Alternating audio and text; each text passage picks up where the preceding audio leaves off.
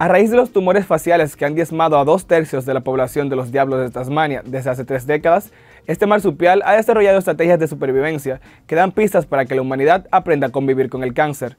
Tenemos la noticia completa con la agencia EFE.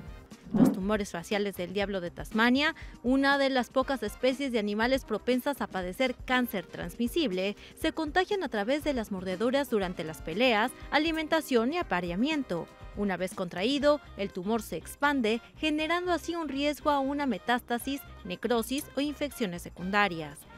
Sin embargo, los investigadores notaron que el diablo de Tasmania había desarrollado estrategias ecológicas e inmunológicas contra dos tipos de cáncer facial, para así escabullirse de la muerte.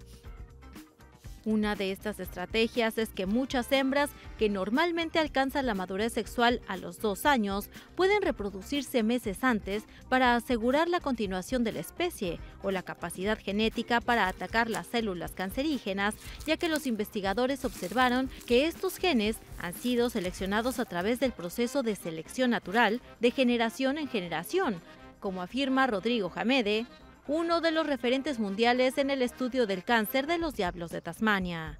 Lo que tenemos que tratar de entender es cómo podemos conllevar esta enfermedad, cómo podemos tolerar, cómo podemos convivir con esta enfermedad que desgraciadamente es imposible de, erradicar. Y en ese sentido, las, lecciones que hemos aprendido del demonio de Tasmania a través de los procesos evolutivos son bastante interesantes y aplicables al, al estudio de la oncología humana.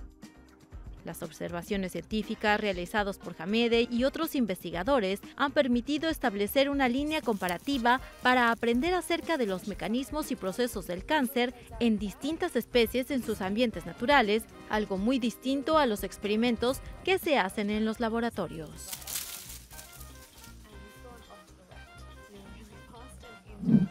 Esta noticia sin más a través de nuestra página web rnn.com.do y nuestras redes sociales Noticias RNN.